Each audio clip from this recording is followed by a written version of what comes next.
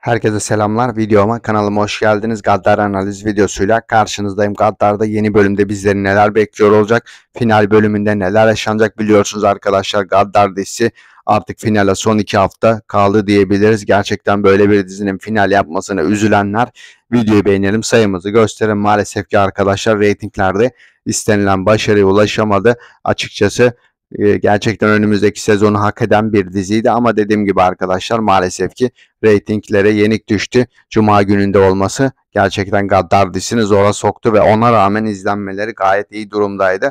Ama dediğim gibi arkadaşlar günü de değiştirilmedi ve Gaddar dizisi önümüzdeki sezona sarkamadı diyebiliriz ve final bölümü bakalım neler yaşanacak. Mutlu bir sonla bitirileceği düşünülüyor Gaddar'ın. Bakalım arkadaşlar Dahan ve Aydan'ın evliliğiyle ben açıkçası bu olayın bitirileceğini düşünüyorum. Detaylar geldikçe de Gaddar'la ilgili ben de buradan sizlerle paylaşmaya çalışacağım. Bir sonraki videomuzda görüşmek üzere. Sağlıcakla kalın.